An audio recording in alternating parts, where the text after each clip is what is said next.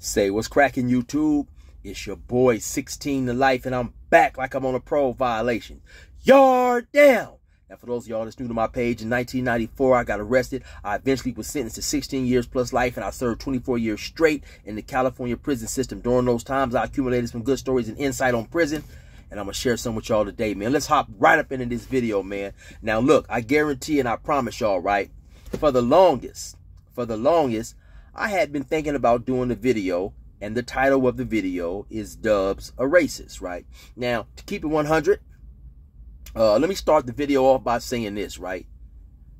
Well, no, I'm, I'm gonna do this, right? To keep it 100, the reason why I didn't, right, because to even potentially associate somebody's name with something like, is, is this dude a racist or not? It's, it's something that's, um, you know, it's something that I wasn't necessarily sold on doing 100% though, right? But I often run across people, man, people who recognize me from from doing YouTube and they ask me that, man. I've, I've honestly ran across no less than seven or eight people that ask me, uh, do I think Dubs is a racist? Now, I, uh, the last dude I ran across, I believe, I believe in, and I may have his name wrong, was a brother named Twin a Damu up out of uh, San Diego. I ran across him at a swap meet. And, uh, you know, we chopped it up a couple times. And, you know, each time we passed each other, he'd pull me over and ask me a question or two. And that was one of the questions that he had. Like I said, um, that question is often asked, uh, often asked by me, right?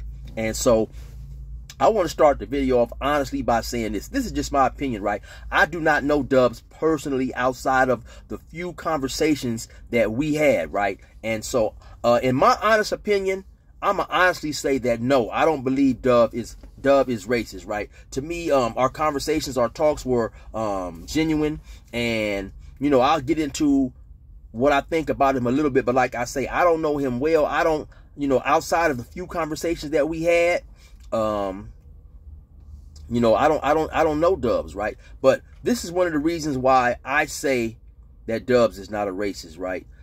First and foremost, right, Dubs reached out to me at a time when we didn't even know each other, just from probably seeing each other on YouTube, right? Dubs gave me some very extremeful, useful information on how to um, boost my channel and do certain things on my channel that will definitely have you making more money, you know. So now, if Dubs was a racist, he wouldn't have shared that game with me, first and foremost, right? Um, that that would almost be that would almost be tantamount to me calling a dude from the Ku Klux Klan, knowing that this dude is a Ku Klux Klan member and sharing some information with him that would make him have financial, uh, that would make him more financial and successful in his endeavors, right? So, um, to me, that's flat out crazy, right? So if Dubs was a racist, why would he call and share that information with me, right? That's that's just that's just in you know in my humble opinion. Also, uh, another thing Dubs did maybe about two or three years ago, right? It was around Christmas. He reached out to me. He said, "Hey, chill, you know, um, I'm sending out a Christmas greetings to you know to all YouTubers that want to be involved, and uh, you know, if you want to do it, hey, shoot a little video and uh, I'll put it up. You know, I shot the video, he he put it up, so on and so forth, right? So, you know, I'm I'm gonna keep it real, like you guys already know, man. Uh, I believe I've done on been on here long enough for you guys to to see my integrity and my in my character, right? I've done 24 years straight. I have definitely been around some racist uh um Southsiders, right? I've definitely been around some brothers who don't like Mexicans. I mean, you know, it, it is what it is, right? Um, one thing in particular comes to mind. I was on a level two one time. It uh, level two is dorm living, so you kind of like living in these almost like uh, bunk beds, right? And you know, so of course, in the course of being in the bed or whatever, you know, sometimes your hand might fall out the bed. There was a there was a black dude from up north, right?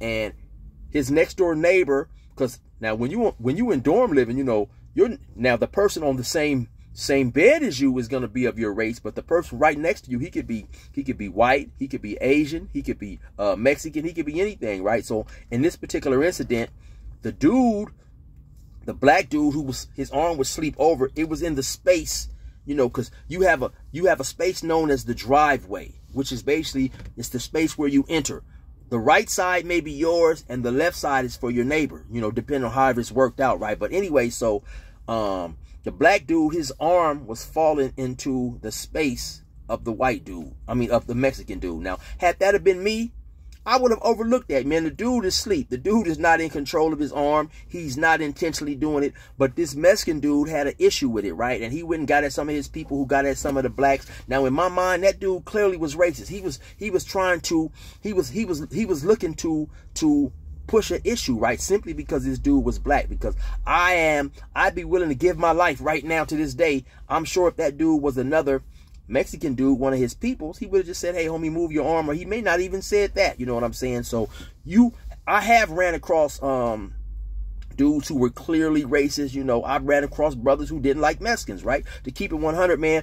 Um, you know, every everybody's gonna have they everybody's gonna have their own opinion. You know, um, now, um, like I said, had if Dubs was racist, why even reach out to a an individual who's obviously black like myself, why even reach out to him and say, hey, chill, um, come do this, uh, come do this Christmas, come do this Christmas greetings thing with me. You know, if Dubs is a racist, he has to be the most calculated, intelligent, um, uh, uh curtain pulling, you know what I'm saying? Curtain pulling racist. I mean, that's just too much. You know what I'm saying? I'm, I'm gonna reach out to this dude, man, to, uh, cause he's black and, you know, it, that's just, that's just too much, man. If, if you are racist, you don't want certain individuals looking at you, watching you. You don't want to collaborate. You don't want to have nothing to do with certain individuals, right? You know, um, so like I say, I don't believe he's racist. Now, you know, some people may believe, and I've seen, I don't, I don't watch dubs a whole lot, right?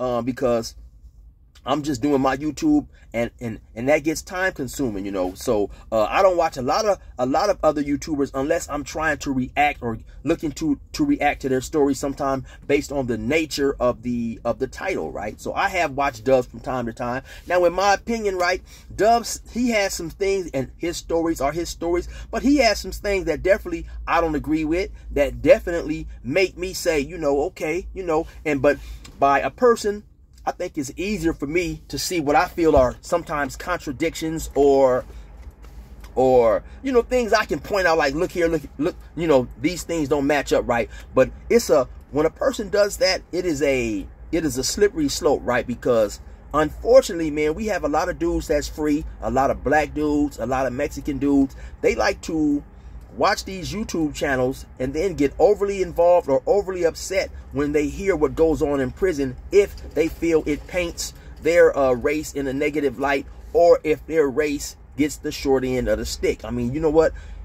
Man, in prison, you're going to win some, you're going to lose some, regardless of who you are, you know. Um, so, you know, I've heard Dubs say some things, man. You know, okay, Dubs kind of reminds me of, at times, of, let's just say, a, a, a dude a Laker fan, man. You know, now um I watch the Lakers and I try to watch everything and do everything with my mind and not with my heart. You know, there would be times there would be fans every now and then that say, "Oh man, we getting ready to win. We getting ready to win the championship this year." When the Lakers didn't have a chance in hell. You know, sometimes people are gonna root for their for their team to the point where they're gonna let ignorance override intelligence. I've been a Laker fan since 1977, 76, somewhere around there, right?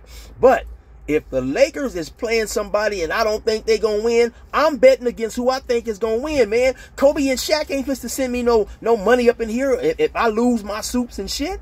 So you know what I'm saying? That would be just like, okay, let's just say like, man, my mom, man, you know, my mom is about, she's in her 70s, right? If my mom woke up one day and told me she was getting ready to fight Mike Tyson, I would help her train. I would root for her. I would try to work out a a a a, a, a plan for her to eat right. But god damn it, I'm gonna root for my mama, but I'm gonna bet on Mike Tyson. You know what I'm saying? Let's let's be let's be uh let's use our brains here, right? And so at times, you know, um, I'm not saying that he is, but at times, you know, you run across people who are like that, right? They will let their biased um feelings dictate what they say, what they do, so on and so forth, right? Like I said, Dubs has he I've heard him mention some things for an individual like myself that I have done time. It sounds a bit outlandish. Yes, at times does he seem he does he team does he team to does he seem to, you know, uh, favor his people in stories? In my opinion, hundred percent, right? I remember a time okay, I done a video, right? And, and a lot of you guys misinterpreted what I was trying to say in the video. The name of that video is it was something like Sureños have blacks in fear. And it had two black dudes like this praying. But then right up under that, it said exposing myths of the California prisons or something like that. So what I was doing in that video, I was going and taking things that he said in the video or other people said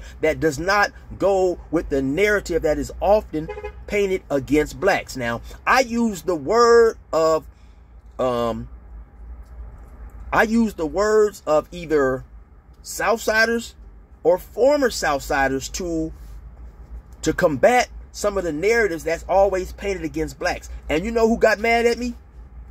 A lot of Mexicans got mad at me. One dude even told me he unsubscribed to my channel because I'm trying to make Mexicans look bad. How am I trying to make Mexicans look bad when I'm just using the words that other Mexicans said? I not only did I use the words, I went I went I went further than using the words. I inserted the actual video. I showed the video from them saying what they said. I didn't I didn't come on here and quote what they said. I inserted the actual video. But I had a dude or two like he told told me, "Hey man, you know, chill. I've been rocking with you, man, but now I think you you know, you don't like Mexicans." So, it's sometimes, man, when people hear things about their people in a light that seems negative, um, they sometimes get in their feelings, right? But back to what I was saying, I, I heard Dubs tell a story where and I inserted this into that video where the blacks took off on the Mexicans. I believe they was in Calipat. Five blacks stabbed the Mexicans or something like that because, you know, you hear rumors that blacks don't use knives and blah, blah, blah, right? So anyway, in the course of this story, though, while, while Dubs is telling the story, he says, yeah, you know, you had, you had the blacks take off on some of the homies or something. Now I'm paraphrasing. Um, uh, you know, you had five blacks rush the homies and start stabbing them. A few of the homies took a couple of the knives from the blacks. Now, to me, 100%. That sounded ludicrous. You know, that sounded ludicrous. Now, it's extremely rare, extremely rare for a person to get uh, attacked out of the blue and to take a knife from the dude that's attacking you. That's extremely rare. I have heard about people uh, getting stabbed and they will take the knife. And so that's why, you know, you'll hear about, uh, well, the couple of times I did what I did, right? I would have a string around the knife and I would have uh, a string also around my wrist wrapped around thoroughly so I could not lose the knife. You know, um, when I hop on the boy's helmet up there in uh in uh uh um the two yard what, what prison was I in at the time? Corcoran, SATF. I had definitely had the string around my knife tied around my wrist. This dude was a big brother. I could not stand for this dude to get a hold of that knife. If he had got a hold of that knife, it would have been ugly. So I have heard of times where people have had knives taken from them, right? Um, listen, I work with a dude, man, that done 17 or 18 years straight at Calipatria. I'm to interview him soon. He said consistently the blacks down there was ha not having any troubles with the uh, Mexicans. He said consistently the blacks was doing their business, right? They never had, they never came out on a loss. So everybody's experience is different. Like I tell you guys, right? I did 24 years straight. I never had any I was never in any riots with the uh, with the Southsiders. I had a few standoffs, but never any riots. But uh, you can say what you want to say, right? But I, I take that to say as the yards that I was on, we had some strong brothers, and the Mexicans didn't want no problems. Obviously, we didn't necessarily want problems either, but that's a mutual respect. You know, that's a, a, a line of respect. Everybody knows that when you go to war, man, it's gonna be, it's gonna be, it's gonna be sometimes some some casualties, maybe some, you know, some injuries, and sometimes it's not worth it. Sometimes it is, right? Um, it just it just all depends, right? So in in my in, you know, I remember. Listen, you guys, you guys always hear you guys always and and this is what I this is what I dislike a lot, right? Everybody think that a lot of times they want to think in absolutes, and when I say everybody, I'm talking about specifically the Mexicans here, you know, or even sometimes the whites or people who've not been to prison. You will hear something about what's supposed to happen in prison, and you think in term in absolute terms of yeah, that that happens. Like I had mentioned one time, blacks uh did did business with Mexicans in prison. I had a lot of people get on my page and said, "Oh, that can't be true. Mexicans aren't supposed to uh, do business with blacks." Well, yeah, they may not supposed to do business with blacks, but they do. You know, you have you have dudes in the Italian mafia doing things that they're not supposed to do, which eventually leads to them getting killed. So just because a person is not supposed to do something, don't mean he's going to do it. People aren't supposed to kill people or they wouldn't be in prison. So don't think in terms of absolutes. Everybody does that, right? So you always hear, you always hear that Mexicans always have knives in prison and so on and so forth, right? Well, on Dub's own page, Dubs told a story about a, I believe he was in Pelican Bay and it was a dude from his his his city or his area, not necessarily his hood. He got to prison and Dubs went and got at him and said, Hey man, now Dubs told this story himself. Dubs goes and gets at the dude and says, Hey man, you know, if you don't have a knife or you don't know how to make one, I'll get you one, so on and so forth. The dudes told Dubs, Hey man, I don't need a knife, man. I know how to fight. I know how to sling them, man. This is Dub's story that Dubs told. The dude tells Dubs, Oh man, listen, I don't need a knife, man. I don't want a knife. I know how to sling them. Uh, Dub said something in response. Well, okay, man, listen, if you don't want no knife, hey, that's you. Uh, you come outside, something jump off, and you don't got a knife. You have, you know, basically you're gonna get dealt with. And Dub said he he never talked to the dude. My point of saying that is, you guys think everybody wants a knife, man, or everybody has to have a knife uh, in prison if, if they're if if they are Southsiders, right? Maybe they're supposed to. But man, you got Southsiders trying to go home just like you got blacks trying to go home, right? So even if you, so now, even if that dude later on, he felt that it would be in his best interest to have a knife, was he really going to use it? Or was he going to go all out when he obviously didn't want the knife to begin with?